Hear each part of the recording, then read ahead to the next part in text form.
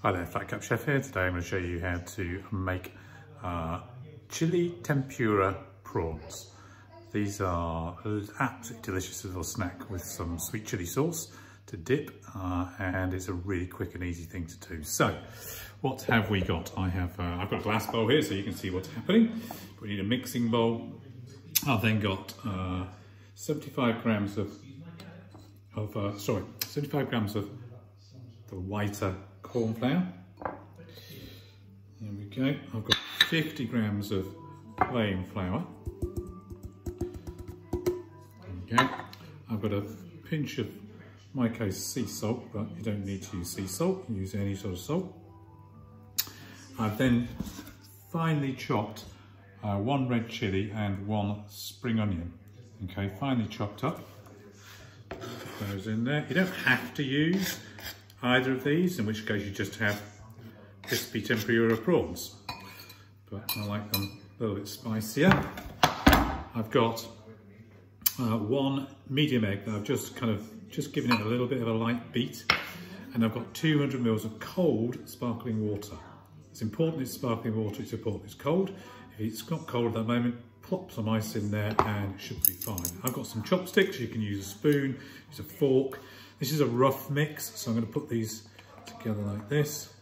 It doesn't, uh, it's actually going to be a little bit lumpy. Actually, strangely, that makes it a little bit better. It's a little bit lumpy, which might sound strange, but there you go. So mix those well together and then make a little hole in the middle. Pour my egg in. Then I pour my sparkling water in. Most of it in. I'm going to whisk it with my chopsticks.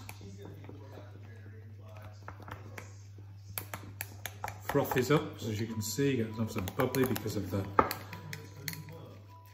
sparkling water that we've used. Now I've used slightly less water.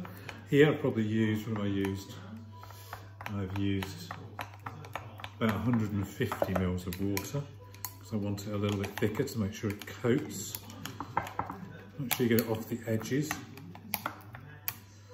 Meantime on my stove I have uh, some vegetable oil heating up in a pan.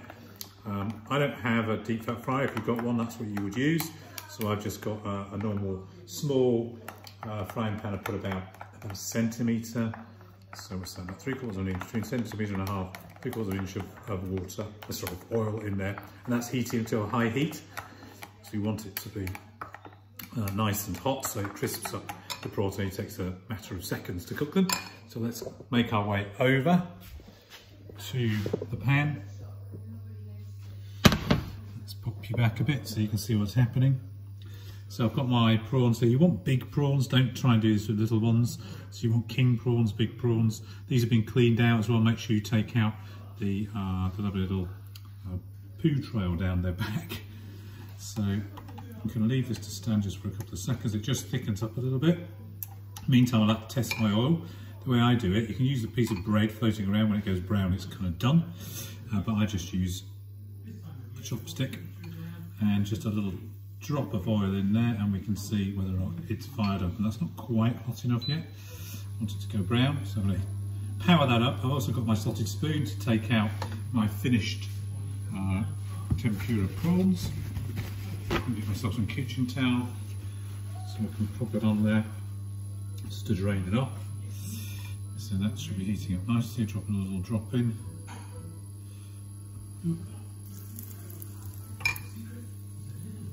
Crisping up, but it's still not quite hot enough. I want it to brown within about 10 to 15 seconds, and I know it's done. So it's almost getting there, it's spinning round and round. Looks like it's swimming. It's very peculiar as it releases the air. Let's try another one.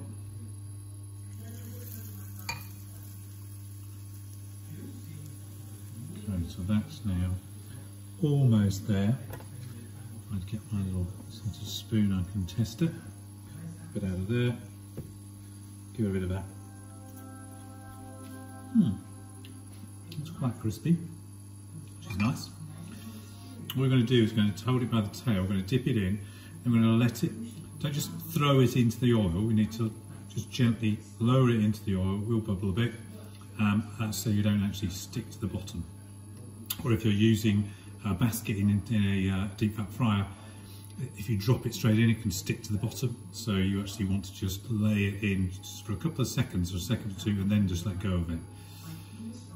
But do be careful because this is obviously hot. That's now doing quite nicely. Right, so I'm going to go in with one, so I've got my tail. I'm going to give it a good old coating of the batter. Stir it around a bit and then drop it in. I've got my slotted spoon so I can flip it because I've only got shallow here. You hear it firing away. Be careful because the oil does get really hot. I'm going to flip this over. There you go. It's going to take probably what, less than a minute for this to cook. I tend to do only a few at a time. So if you overload it, it takes the heat out of the oil and the, the could go soggy, you don't want.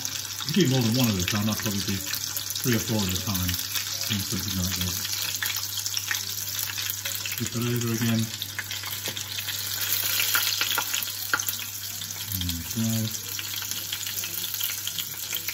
And it's now, you want it just to turn brown, so it's just showing that lovely kind of golden colour, so the prawn won't be overcooked in the middle, so it'll be moist. The batter will be lovely and crispy on the outside. And you'll have the most amazing crispy prawns. So, that I'm going to say is now done. And there we have it. Tempura crispy prawns. And if you want to know more, then just uh, subscribe to the site. It's free and you'll just get updates uh, when I next post. Back soon.